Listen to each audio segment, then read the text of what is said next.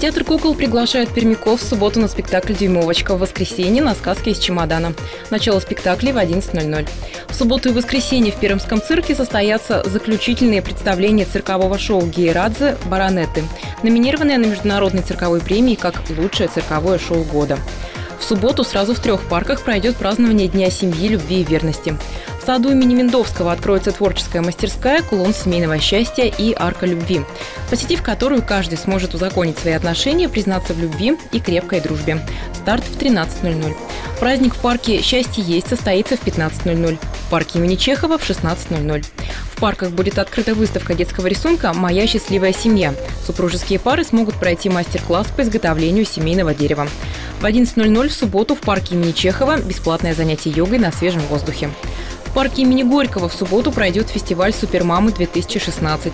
В программе арт-терапия для малышей, мастер-классы для мам, консультации адвоката по правам матерей, детского и семейного психолога. Старт в 15.00.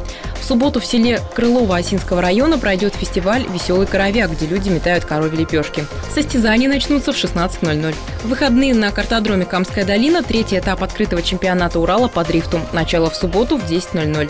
В воскресенье в спорткомплексе имени Сухарева решающая игра за выход в плей-офф по американскому футболу.